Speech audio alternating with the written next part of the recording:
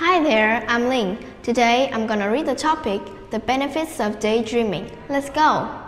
On a daily basis, you spend between a third and half your waking hours daydreaming.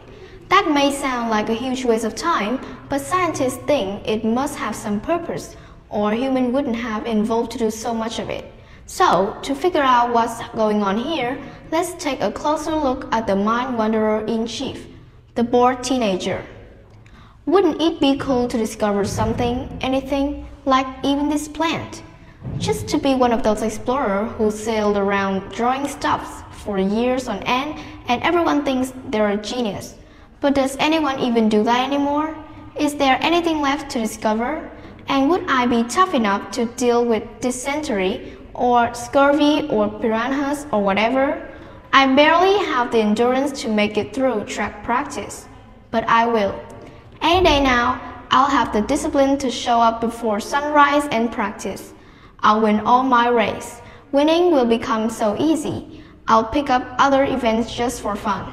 And once I'm in the Olympic, they'll have no choice but to crown me team captain, which I will graciously accept. And will I be nasty to the teammate who yelled at me? No, I'll just calmly say, hope you're in a better mood. Okay, Yours and others people's daydreamings might sound or feel something like that.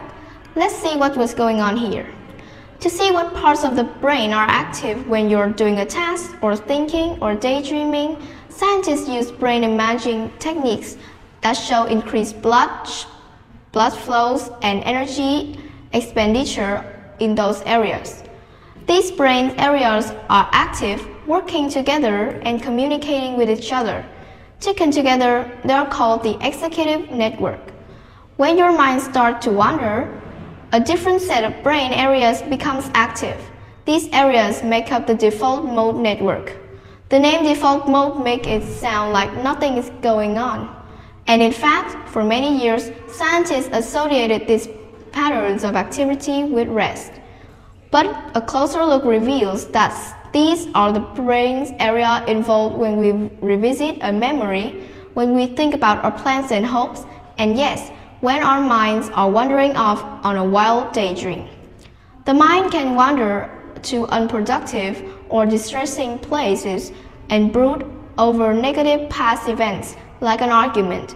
It can also wander to neutral, everyday matters like planning out the rest of one's afternoon. But where mind wandering really gets interesting is when it crosses into the realm of free moving associative thought that you aren't consciously directing.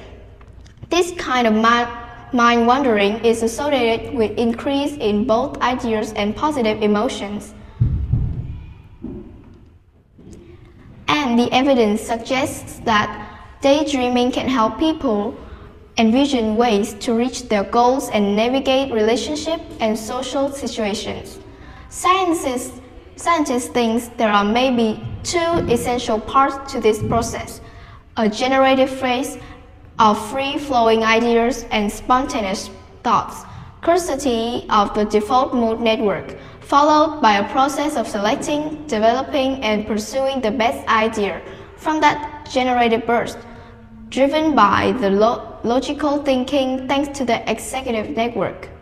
A host of imaging studies suggest that these two networks working in sync is a crucial condition for creative thinking. Taken together, the evidence clearly suggests that local logical realm of the executive network and the imaginative realm of the default mode network are closely related. And as you can see, the executive network is still playing a role when the default mode network is doing its thing during daydreaming. In teenagers, the prefrontal cortex and other areas involved in executive function are still developing, but teens are perfectly capable of thinking through their problems and goals, especially when given space to do so on their own. I'm Ling. Thank you and have a nice day. Goodbye.